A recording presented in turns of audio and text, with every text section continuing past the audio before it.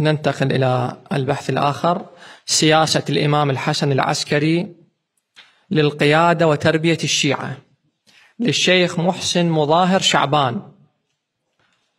ولسوء حالته الصحية يتفضل بإلقاء البحث الدكتور ماجد ناصر النائلي. تفضل مشكورا.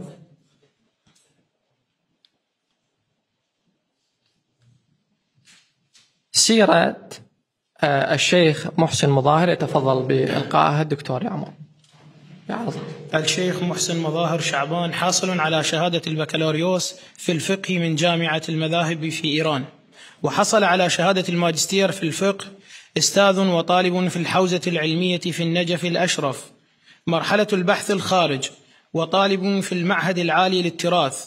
يعمل في قسم الشؤون الدينية شعبة الاستفتاءات الشرعية في العتبة العباسية المقدسة. تفضل جناب. الحاضرون الأكارم السلام عليكم ورحمة الله وبركاته. الحمد لله رب العالمين والصلاة والسلام على أشرف الأنبياء والمرسلين أبي القاسم محمد وعلى آل بيته الطيبين الطاهرين المعصومين.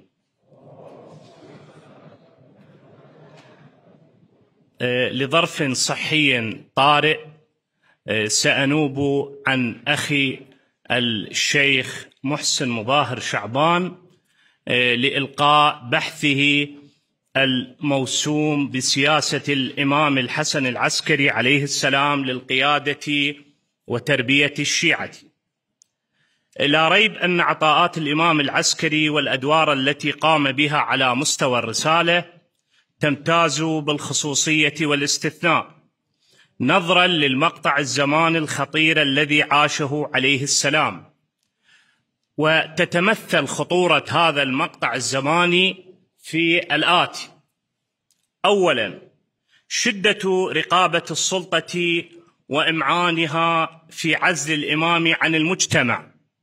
ولجوء القوة الحاكمة إلى شتى وسائل القمع للشيعة عامة والإمام خاصة وذلك لكونه والد الإمام الحجة عجل الله تعالى فرجه الشريف الذي عرفوا بما أوثر عندهم من الأحاديث والآثار بأنه سيملأ الأرض عدلا بعدما ملئت ظلما وجورا. ثانيا ضعف الخلفاء انجازت هذه التسمية. ضعف العباسيين والانحراف والفساد الأخلاقي في عصرهم. ثالثا تولد الفرق الضالة. وقد أجهد الإمام نفسه غاية الجهد ونجح سياسته ونجح سياسته في مواجهة هذه التحديات من خلال وكلائه وخواص شيعته. لمساعدة الشيعة وتعليم الأحكام لهم وأعلن ولادة ابنه سلام الله عليه وإمامته وإمامته وأوصى شيعته بال شيعته العفو بالتوصيات الأخلاقية لهدايتهم وتبعية الإمام الحجة سلام الله عليه بعد والصبر وانتظار الفرج.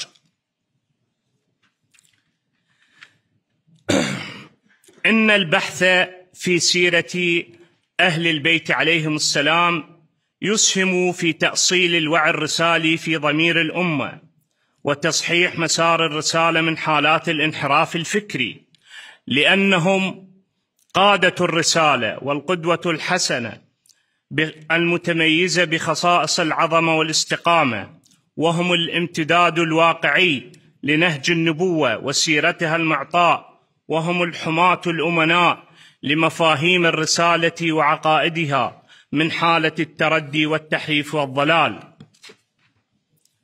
وضرورة الإمامة تبدو جلية لمسك أمور الأمة في مجالي التشريع والقيادة. ولذا نراها تتجلى في اثني عشر فردا حددت أسماءهم السنة المطهرة ونص كل واحد منهم على الذي يليه. فتكونت المنظومة القيادية للشيعة متكاملة. حتى إذا بلغ الدور إلى الحادي عشر منهم وهو الإمام الحسن العسكري عليه السلام كان عليه أن يواجه امرا. هو من أصعب ما مني به آباؤه على الرغم من تميز كل واحد كل واحد منهم بأمر صعب يختلف عما قبله. وعلى الرغم من إقصاء وتغييب لرموز القدوة الحسنة في زمانه عليه السلام عن التواصل مع حياة الأمة السياسية والاجتماعية وملاحقته وعزله عن قواعده فقد تمسكت به غالبية الأمة ومنحته مظاهر الود والثقة لما لمسته من سيرته الغنية بالعطاء ودوره المشرف في جميع المستويات. ويبدو أن أهم ما يستوقف الباحث في حياة الإمام العسكري عليه السلام نعم. هو كونه آخر إمام اختتمت اختتمت به الامامه الظاهره ليبدأ بعده عصر الغيبة الذي بدأت تباشيره وأوشك زمانه. لذا وقع على الإمام العسكري عليه السلام العبء الأكبر في ترسيخ مبدأ الغيبه وتاصيله في نفوس شيعته للحفاظ على خطهم الرسالي من الضياع والانهيار. وقد استطاع الإمام العسكري أن ينجز هذه المهمة الخطيرة بكل جدارة وقوة وأن يحافظ على ولده المهدي عليه السلام من ملاحقة السلطة وأدوات قمعها. في وقت عصيب عزل فيه الإمام عن أصحابه وشددت الرقابة عليه.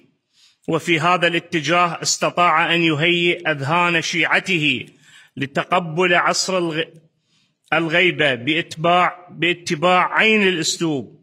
الأسلوب الأسلوب عينه الذي سيتخذه ولده المهدي عليه السلام وهو الاحتجاب عن الناس واتخاذ الوكلاء الذين يختارهم من خاصته.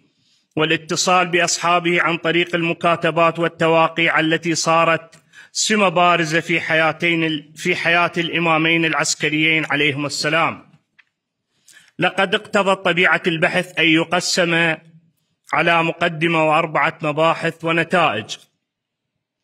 جاء المبحث الأول عن حياة الإمام العسكري عليه السلام ثم تبعها المبحث الثاني يتحدث عن الظروف السياسية والاجتماعية المؤثرة في حياته ومن ثم ومن ثم سياسة الإمام عليه السلام لمواجهة هذه الأوضاع بتأسيس مجموعة من ثقات أصحابه وتعيينهم كوكلاء والمعتمدين في المناطق الشيعية والاهتمام بالوضع المادي والاقتصادي وجمع الأموال وتوزيعها على فقراء الشيعة ومستحقيهم وتعليمهم الأحكام الشرعية. ثم جاء المبحث الرابع للتوجه بالجانب التربوي للشيعة بإرسال الرسائل والوصايا والتوقيعات التي تخاطب شيعته مباشرة. لقد فرض العباسيون على الإمام الإقامة الجبرية وكان ال ال يعني وكان بنو العباس يراقبوه بجهاز خاص ومع ذلك قام بأعمال جعلت بعض شخصيات السلطة يؤمنون به. وقد عاصر الإمام الحسن العسكري جمع من العباسيين كالواثق والمتوكل والمنتصر والمستعين والمعتز في إمامة والده وعاصر في إمامته ثلاثة من من العباسيين هم المعتز والمهتدي والمعتمد. وامتاز العصر العباسي الثاني الذي بدأ بحكم المتوكل بالنفوذ الواسع الذي تمتع به الأتراك الذين غلبوا العباسيين وسلبوهم زمام إدارة الدولة وأساءوا التعامل مع الأهالي منذ أيام المعتصم كما اتسم بضعف القدرة المركزية للدولة الإسلامية وفقدانها بالتدرج لهيبتها التي كانت قد ورثتها من العصر الأول لأسباب كثيرة منها انشغال الحكام بملاذهم وشهواتهم وسيطرة الأتراك على مقاليد السياسة العامة. بعد انهماك الحكام بملاذه بملا بالملاهي. وكانت سيطرة الأتراك قد بلغت حدا لا مثيل له إذ كان تنصيب الخلفاء وعزلهم يتم حسب إرادة هؤلاء الأتراك. وأنتج تعدد الإرادات السياسية وضعف الخلفاء ظاهرة خطيرة للغاية وهي قصر أعمار حكوماتهم وسرعة تبدل الخلفاء وعدم استقرار مركز الخلافة الذي يمثل السلطة المركزية للدولة الإسلامية.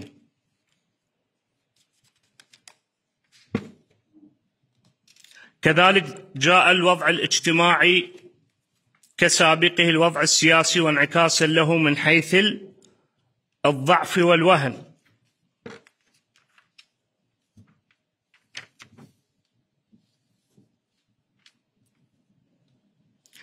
والإمام الحسن العسكري عليه السلام كأبيه أعد بجهده الوافر جيلا من الثقات فكانوا رواة وطلابا وفقهاء ومؤلفين ووكلاء منتشرين في البلاد واختارهم من بين أصحابه وأوكل إليهم جملة من المهام كقبض الحقوق الشرعية وتلقي الأسئلة والاستفتاءات وتوزيع الأموال على مستحقيها بأمر الإمام. ويحرصون على تبليغ رسالته وإيصال كتبه ورسائله في مختلف أطراف البلاد الشاسعة في ظل الظروف الصعبة والتوترات الموجودة والرقابة الشديدة على الإمام من قبل السلطة. وقد كان الإمام متابع دقيق لكثير من الوكلاء حتى أنه كشف انحراف بعض الوكلاء وحذفهم وإخبار الأتباع بانحرافهم دليل على المراقبة المستمرة لهم ومدى متابعة الإمام لأوضاعهم ونشاطاتهم. كما لعن الإمام العسكري عليه السلام أحد وكلاءه وتبرأ منه وأمر شيعته بلعنه بعد أن كان من جملة وكلائه والمعتمد عليه عند الشيعة في بغداد.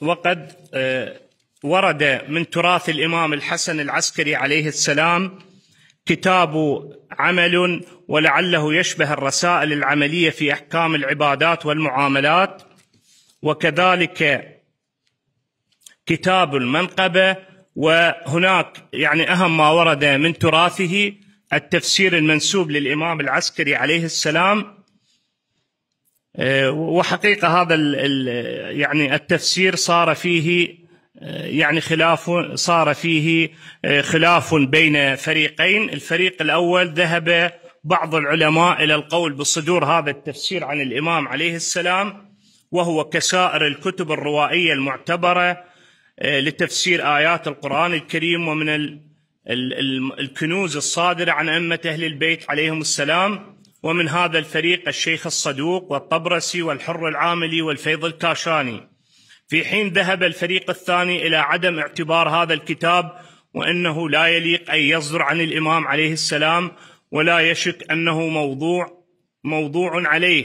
ومن هؤلاء العلامة الحلي والشيخ البلاغي وأستاذ الفقهاء السيد الخوئي. وقد ورد عنه أيضا الكثير من الرسائل والوصايا والمواعظ والحكم والأحاديث.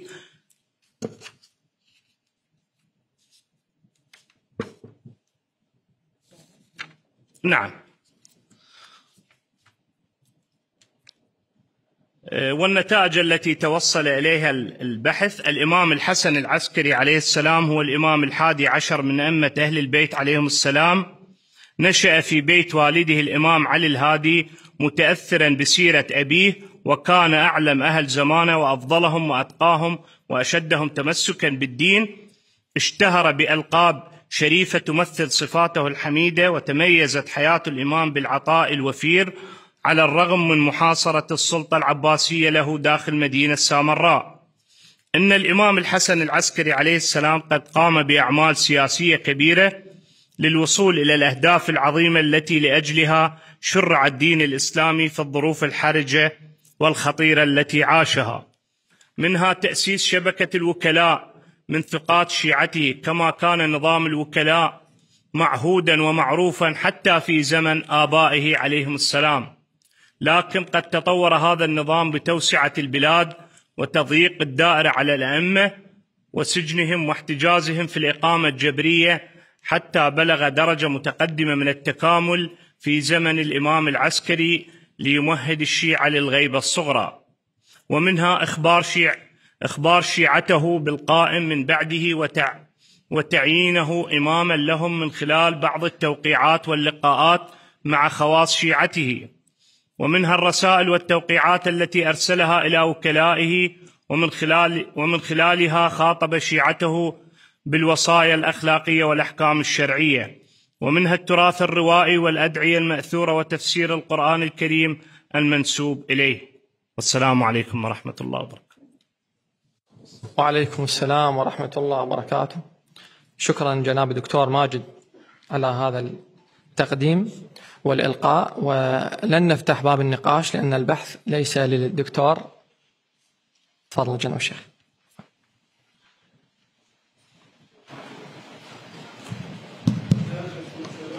معذرة آه، مقدر قضية وقت يعني إن شاء الله عفواً- عفواً، تفضل إن شاء الله. وتنسحب ثلاثة ولا زحمة عليك. طبعا آه، الشيخ محسن أنا أشد عليه يده والله يوفقه إن شاء الله. بس أعتقد بالمقدمة صار تدافع بالكلام.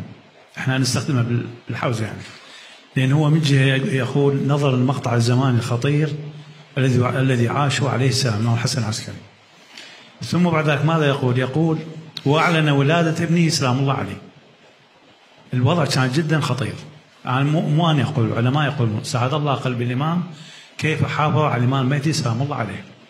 حتى أن ال- ال- ولادة الإمام يعني عفوا حمل الإمام لم يظهر على السيد المقدس النرجس يعني هاي قضية إلهية طبعا. فأشوف أنه آه، أعلن عن ولادة ابنه قوية يعني. يعني ما تناسب يعني ما فعل الإمام كان اتبع طريقة جليلة في ال- في التنصيص على ولد الإمام المهدي. مثل يبعث شيء بيده إلى خواص أصحابه ويقول لهم أرسل لكم ولدي وخليفة بعد خواصه فقط. أشوف كلمة أعلن يعني ما تناسب ذاك الضرورة وجزاكم الله خير الجزاء أحسنتم سماحة الشيخ على هذه الالتفات اللطيفة.